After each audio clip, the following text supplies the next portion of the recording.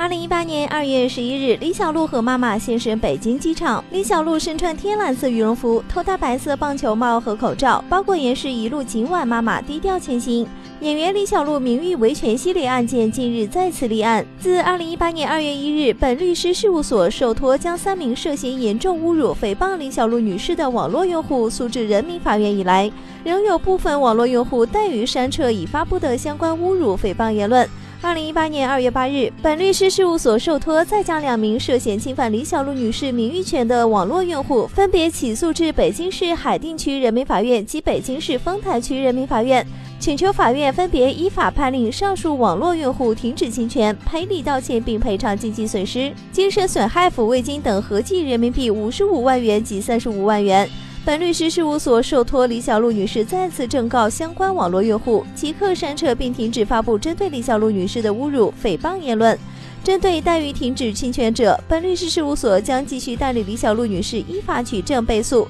最大程度维护李小璐女士作为一位公民的。